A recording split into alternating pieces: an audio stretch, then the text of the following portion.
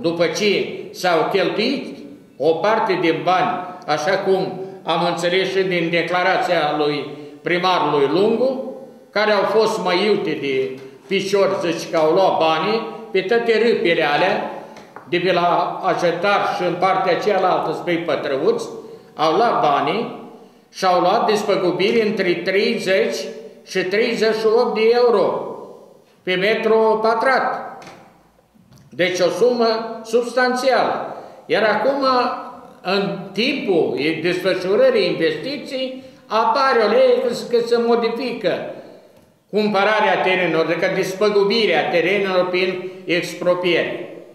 Șeful Partidului România Mare, filiala Suceava, Gheorghe A. Catrinei, a adăugat că peste noapte oamenii s-au trezit cu lucrări în zona în care locuiesc, iar drept urmare au trimis scrisori la București, însă au venit plângând și la sediul PRM. Din 2007, nimeni nu le-a spus nimic la gospodare aceștia. Ori acest pământ care este în această zonă este cel mai bun pământ pentru agricultură. Este un pământ care îi putem spune aur.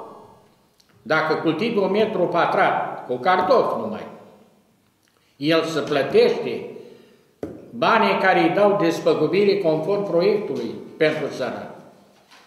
Dar pentru cine nu-i bun acest utilitățile, toate absolut, se poate dezvolta comuna, se poate dezvolta municipiul și așa mai departe. Valoarea pământului este una foarte mare, însă, conform liderului PRM, gospodarii din zonă trebuie să-l vândă la prețul menționat în contract. Constructorul, dacă încalcă legea, răspunde penal pentru toate acestea. Eu le-am spus și la oameni că dacă nu se determină, mai ales ministrul care se ocupă de această investiție, să despăgubească oamenii corect, altă cale nu decât justiția. Și acolo să face dreptate. Acolo nu mai ține PDL-ul, nu mai ține domnul Lungu, nu mai ține domnul Flutur, nu mai ține nimeni. Dar să vor face de rușine, pentru că oamenii ăștia în fața legii vor câștiga. Unii din ei sunt bine puși la punct, pregătiți și au toate loianul de documente cu care să se apere.